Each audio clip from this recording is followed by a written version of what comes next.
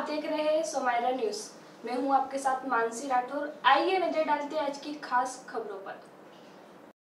इंदौर में पहली बार सूखे नाले में 150 पहलवानों को दंगल खिलवाया गया। इसके लिए नगर निगम ने व्यवस्था की और मेट पर पहलवानों ने ज़ोर अजमाइश की। आपको बता दें कि यह वही नाला है जहाँ कुछ समय पहले गंदगी बहा करती थी और लोग नाले के पास से निकलना तक पसंद नहीं करते थे। पचकुया रामगढ़ स्थित नाले में गिरने वाले गंदे व सीवरेज के पानी को टेप कर ड्रेनेज लाइन डाल दी गई है। इस नाले को सुखाने के साथ इतना साफ़ कर दिया गया है की बिना बदबू और किसी प्रकार की गंदगी के 150 से अधिक पहलवानों ने इंदौर को स्वच्छता का पंच दिलाने के संकल्प के साथ ज़ोर अजमाइश की। इस नाला में अंतर्राष्ट्रीय पहलवान विजय कुमार भाटिया केजेस केलोनिया, राहुल वर्मा, सूरज चौहान, मनीष मुहाले, योगेश बिजोर, महिला वर्ग में पूजा विमान इसिका बोस, सील तानिया, मुस्कान यादव, भूमिका राठौर पिया राणा के मध्य आकर्षक मुकाबला खेला गया। इस अवसर पर सांसद शंकर लालवानी, पूर्व विधायक सुदर्शन गुप्ता, पूर्व एमआईसी सदस्य सुधीर देगड़े, पूर्व पार्षद दीपक जैन तीनों व अन्य मौजूद रहे। सांसद ने मेट पर जाकर पहलवानों का हौसला बढ़ाया और पुरस्कार का वितरण कर कोरोना से बचाव के लिए मास्क भी बांटे। इसी मौके पर पहलवानों को स्वच्छता की शपथ भी दिलाई गई।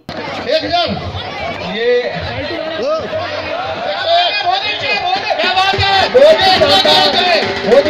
कुश्ती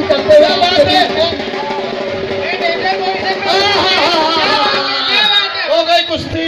मेरे तो गए पंद्रह सौ पंद्रह सौ।